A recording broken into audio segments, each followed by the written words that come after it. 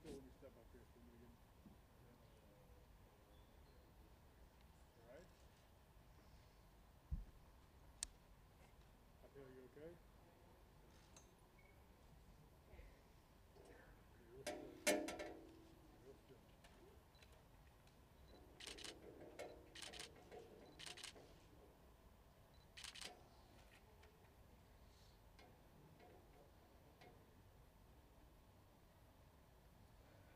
157 and a half.